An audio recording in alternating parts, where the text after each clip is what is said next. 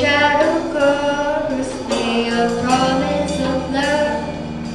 Where my heart is safely under